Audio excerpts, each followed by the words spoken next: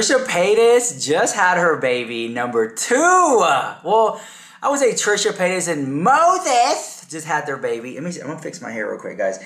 I am getting ready because I'm gonna go hang out, uh, do some shopping today. So I was like, let me just like get ready with me, and we're gonna talk about Trisha Paytas and all the drama. Um, is it in my way? I think the hair looks okay today. I've been letting my hair grow out, and this is how long it is. And yeah, I got a perm, so it's not natural. Don't think that. Okay, mostly everything about me is fake, down to my teeth. it's a lot of plastic going on here. Okay, so let me get ready. I just want to say I've been absolutely loving the Milani Cheek Kiss. It is a bronzer, but I just use it as foundation. This is really good. Pick up the drugstore. I'll link it down below in the YouTube shop. If you guys want to pick it up. And I'm going in with just um, no primer, nothing. I'm just gonna keep it real. It's like a kind of like no makeup, makeup look type day. Okay. So, Trisha Paytas has now revealed that she has baby number two. It's a girl and she named it Elvis. Like, how do you guys feel about a girl named Elvis? Let me know about that. I don't know. Like, I, to me, it's a, you know, whatever. I'm not going to say it's a boy's name because I like to believe that, like, you, you could be whatever you want to be or whatever. So, you know, good for that. I think the name is cool. And Elvis has, like, a big cult following. So maybe, you know, maybe Trisha was like hoping for a boy, and but you know at the same time, I just want to say that when she posted the picture, I thought, oh, well, here come the comments. Oh, she's holding the baby wrong. She shouldn't be doing this, like like that. Like I already can already see like like those comments, you know. And so just putting a little bit on because I wanted to like make wake up the skin and it not be so like raw. Just like give me a little glow, a little life. Okay. Well, I do want to say this. One thing I have noticed about Trisha lately is the fact that she has been able to honestly still be herself. I think a lot of times when people have babies, they tend to lose who they are as a person. And I'm going in with the uh, ColourPop Cosmetics, the brand new Pokemon palette. I'm probably going with like this one of these shades over here, like something like like a little natural color. Anyways, I've noticed that. Like, listen, being a gay guy. A lot of a lot of girls want to you know have like a gay best friend, right? So I've always had like really beautiful women like want to be like friends with me and stuff like that and then and it's it's fun. Like I get to you know, peek into their their world, and I will say this: when they meet a guy and they get pregnant, they just stop hanging hanging around like they're like the gay friends, and that be and I'm like, and you know, this is something that I've addressed with them, and I'm like, you know, why? And they're like, well, you know, like my priorities change. Like I'm not all about going out anymore and and things like that. And I'm like, oh, so it's all about like it's all about the baby now, right? And so they're like, yeah, you know, I have responsibilities. Like I have a whole person to care for now. And so like then they start hanging around like other moms and doing like PTA meetings and like you know mom stuff like that, you know. And it was kind of like a natural like progression. But what I've noticed about like Trisha is that she doesn't do that. She she hasn't lost the sense of who she is. And I applaud that. Uh, and I'm going in with the Westman Atelier. You can pick up Sephora. This is the Westman Atelier Contour Stick. I love this one as well. Okay, and it's a, listen, do not confuse bronzer with contour. Those are two different things. Okay, so I just, I kind of like when it comes to Trisha, she really, first of all, I believe Trisha is a narcissist. But I feel like we all are. Okay, I feel like anyone who's on YouTube, you are everyone is a narcissist. I can peg one or two characteristics. But I'm not saying that she's a narcissist like full blown narcissist. No. But everyone is somewhat of a narcissist. You could peg one or two char- characteristics, right? So with that being said, I think that because Trisha Paytas is a bit of a narcissist, as am I, I feel like um, and there's different types. There's covert narcissists and stuff like that. There's just levels to it, right? There's levels. I'm not saying that she's like one of the crazy bad ones. But I will say this. She still is all about herself. And she still dresses up in pink and does her hair and it's just like the over the top Trisha that that we know of. And she hasn't lost who she is. She's like she's still a working girl. You know, apparently Trisha Trisha Paytas has enough to feed the needy. Believe me, sweetie. Apparently Moses has money and she doesn't even need to work but she does because she wants to. And that's what I'm talking about. I don't think that she has to work. I think that she loves to work. And she loves the attention and the admiration from you guys, the people who watch, right? Whether you like Trisha or you don't like Trisha, she's entertaining. And with that being said, she knows the gig. And on top of that, she is still able to be a mom and give us Trisha Paytas. I thought that Trisha was gone. I thought once she had the first kid, it was all downhill from there. We're not gonna see her as much. She's not gonna upload as much. Nope, she's incorporating the children into her life. She's showing us things that they're doing. She's probably made some mistakes and she's learned. And so, baby number two, I think, is gonna be a lot easier than baby number one and a lot less um, affecting her mental health, right? Because like it, it's a it's a big life change you're like, oh my God, I can't believe that this happened. I can't believe I have a whole other child. And then you just kind of lose a sense of who you are, right? Anyways, let me show you the baby. Oh, but she's also popping off about Jeff Wittek, and we'll talk about that too. So here's the footage of her and the baby that she posted. So if you guys haven't seen it, here we go, roll it. And we have to get blood work for tomorrow because I am supposed to have my scheduled C-section. I thought she was going to come so much earlier. we thought it was a Taurus baby. Elvis, is most definitely a Gemini. But he brought me this quesadilla and it's so sweet. it made me want to cry. Because I see so many people complaining about their husbands, partners, baby daddies, father of their children, being like they do the bare minimum, they don't help out. I had to make my own birthday cake. And I see the rhetoric so much as like that's just guys, they do last minute card shopping on Mother's Day you know, it's just in their nature. And I always just realize like how lucky I really am. I mean, I always knew that, but like going from being that person in a relationship where literally the other people like hated me, like literally didn't even like me, to like, he's watching her while I did the Zoom call, got dressed, he was looking for me, he's like, where are you? And this is like the hottest quesadilla ever. I just love him so much. so, day before going to give birth, and I think the most thing I'm like, I'm so happy, but I'm so sad to leave Malibu here. To obviously be with family. They're all helping out. And, um, like staying here, but I'm just like, I don't want to leave her. I hope she understands, you know, like a year and a half, like that we'll be back. I'm gonna go paint some walls around here. I remember this last time. I remember you putting this on last time. Ready? Doctor Hacmon. Oh my gosh, you look so cute. That's so funny. It's like a full suit. And you have, I think you have the same haircut as last time too. I feel like this is like giving me deja vu. And you're happy, the smile. Now it's real. it is real. Well, it'll be real in about 20 minutes. Oh my gosh. Trust me, I'm a doctor. you do look like one now. You are ready to go. This is like a shower cap. Well, you're completely covered, so that's good. I'm ready to go. Mm, I love you. You're here. So cute. Mm. Mm. Mm. Okay. Baby, baby Elvis. so, so cute, so well defined. She came, she came out. She said nine pounds, seven ounces. It's like it's one and a half inches long. Oh my gosh. A big girl. Big and healthy. Mm, it's so nice to get to hold her. So nice to hold her. I know. I love you. She ate a little bit. Yay. mm-hmm. I know she opens her eyes too. Her eyes are so pretty. It's such a deja vu. It is. It's so crazy to be back here. Uh, I love you. Let's just come. This is a baby burrito for real. hmm.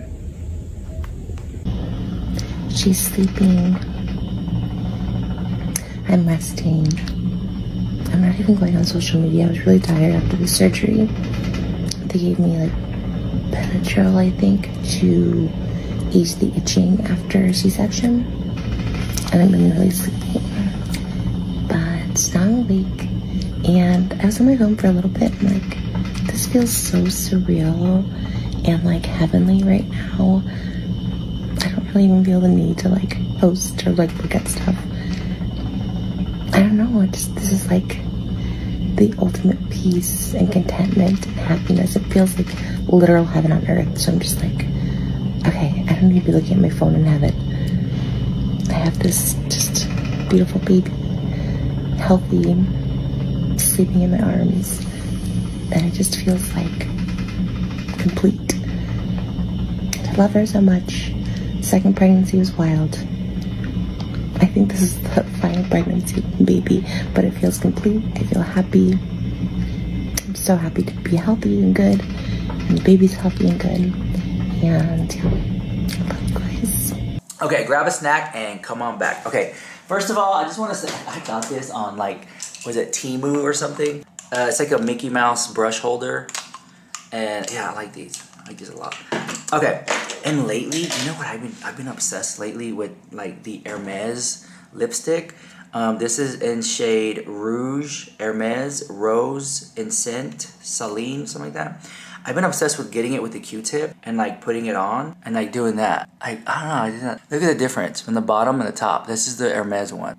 It's nice. Like I'll link it in the uh, everything I'm using that I remember to. I'll if I remember to, I'll put it in the YouTube shop down below. You can check it out. But um, yeah, I really got accustomed to using Q-tips to like do these gigs, and like they're one and done. And I just like toss it when I'm done. You know. I get the other side. I just kind of like, cause I want like that natural looks. I don't want like too much of it. But it just adds it adds like a little ump of color, and it's like it's exactly what I need. Okay, back to the Trish Paytas drum. So she went off on Jeff Wittek. She knows more about the David Dobrik situation than I think a lot of people would like to believe. Like because like she was there. God, these two these two concealers by Pacifica look exactly the same. I think I'm gonna go in with this one she knows a lot more because like she she lived it right? Like she was there. She was i guess she was part of the vlog squad.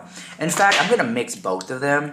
Honestly I, I i've been thinking that like when it comes to like foundation and stuff like this it's no one color can perfectly match you. Like in our face we have thousands of colors mixing together. So i always feel like to get like a really good payoff i just kind of feel like hey man like you should honestly do two or three different foundations to like really match your skin anyways uh, let me put this on i'm trying to brighten up the under eye just a little bit and i think i just overdid it uh, okay so anyways, here's what Trisha Paytas had to say about the Vlog Squad and Jeff Wittek, and even Jeff coming onto her show. Here we go, roll it. But this, I am interested to talk about this one though. Like the whole Jeff Wittek calling out David Dobrik saga again. It's a little bit old, but also it kind of is a continuous story. So, Definitely in here in the Just Trish world. It's always we were supposed to we were supposed to do a Jeff collab, and I'm so down to do it because I think if anyone like understands like the David trauma, the David his is crazy. I mean, I will always say this to like the day I die because Mike Majlak was on Jeff FM recently, and that's like his friend, right? Mike's from like Impulsive, and he was like, I was concerned for you, like you tweeting about David and all this stuff like that, and I was just like. This person, like Jeff says all the time, is like he's still going through like surgeries to correct his vision and stuff like that, and David's just like living his best life.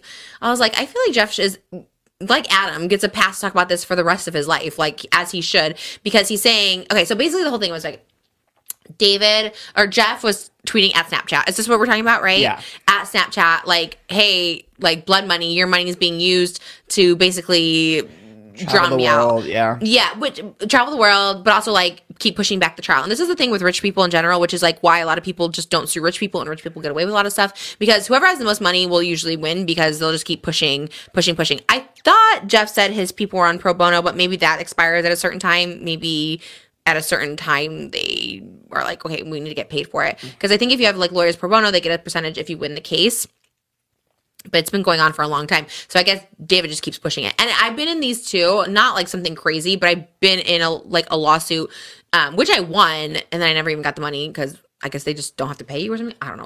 Weird. But um they kept pushing it and changing lawyers and changing this. So like it was and then I just had to get paid. My lawsuit cost me I was suing for twelve thousand dollars, cost me one hundred fifty thousand dollars. Oh my And that's God. small scale. This is probably like millions of dollars. million.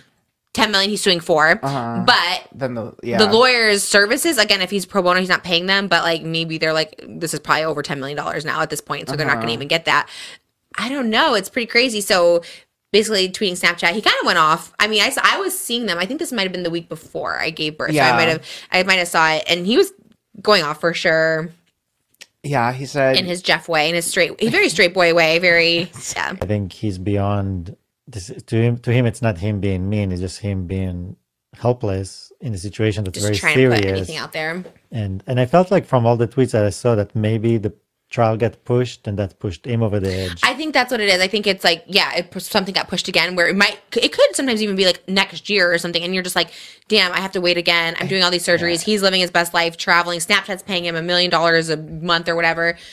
It's, it, that would be the worst. It's not, uh, yeah, because at the end of the day, like, like David had zero, he had to do zero accountability. He didn't pay. The insurance, he might have scammed his insurance, whatever. The insurance paid. Natalie forged Jeff's name. Like all this new stuff is coming out, and like maybe Jeff will never get like a fair trial or like ever get a day in court because it's going to be too expensive and he's going to have to drop it, and then all this is for nothing. And David again will win because he's rich, and it sucks. Like it sucks. Like to have no um, yeah, no repercussions for something you did. Like that sucks. Like you, it, it's awful. And then people like really trolling him in the comments and being like, you know, why did you do this? Why did you know it's your fault? I don't know. It's like I feel for Jeff. I'll always feel for Jeff because it's like crazy. Like, I, and uh, honestly, even the accident, like, not to say whatever, it, like, could also affected him. You know what I mean? Like his brain or something. You know, like I don't know what he was like before, really, but maybe I don't know. Yeah. a little bit of trauma. he and he's getting ready for another surgery. So he did say like he's like because everyone's like, "Are you just like on something?" But he's like, "No, like I'm just getting ready for surgery, so it makes me like extra like emotional, which makes sense. Like Yeah. he's going in for another damn surgery because of this kid, you know. So like it makes sense. Yeah, I think when we talked to him before, like years ago, like I remember talking to him in like 2021 or something like that, and I remember he was just getting out of a surgery, and he's like, my my brain, and like, yeah, you kind of feel for him, like your brain's like affected by it. hmm And I think the trial right now is scheduled now for like December, I think 16. Oh, But so it's- like a whole like end of the year. Yeah. So it, and who knows again, like if that'll actually keep that date, you know? And because David's trying to get it completely dismissed, so Oh, he is. Is that new? Is that like a new thing, or it's always Not- been? I I think it's recent, but not that new. I think Jeff's talked about it before. How David's Hmm. trying to get the case dismissed. That's crazy. That's so sad. And like the thing is, in this world, like it's really like rich people can get away with anything. Like there was a celebrity. I'm, I can't, I kind of remember. I don't want to say her name, just whatever. But I think she did a hit and run, and I think she, All right. So when I saw that, I was like, yes, yes. She is one of the only ones that I know of that is like applying pressure for this documentary to come out. And the documentary is not going to show David Dobrik in a good light, but because what's that guy's name? Um, Casey Neistat is trying to be cordial and be friends with these people and be unbiased. He left the documentary on a good note, and in all actuality, it ended on a bad note. But David Dobrik has so much money and power that Casey Neistat really doesn't want to spill all the real tea about it. And that's the real tea about that. And I don't think we'll ever we'll ever know what really happened. And Casey Casey Neistat to me, I used to I used to I used to have respect for him, but I've lost my respect for Casey Neistat for the simple fact that he doesn't show the full documentary and he wants somebody to buy it and spend all this money Again, I'm using the uh, Chanel, um, just like for the brows. And uh, I know, shut up and cover me. Honestly, like I just feel like it comes across kind of like like money hungry for him to do that. Like, why just post a video, girl? Like, show the pe- the people want to see. The people want to see the David Dobrik video. Post it, and the fact that he doesn't post it, it just comes across like he's like leeching for money or money hungry. The house, and I'm like, man, you know what, guys? Like, whatever happens, just like the truth. Like, we want to know the truth. The people, the people, the people want to know. And I don't know why he doesn't like like show us. And that's what really upsets me the most about about him. Like show us. Put post the video. But he won't. It all comes down to money and greed. It all comes down to money and greed. So you know, one day I hope the video is released and I hope that the ending is edited correctly. Um, but if not, I might make my video because I have a lot to say about the Casey Neistat video because I've seen it. See you guys later. Bye.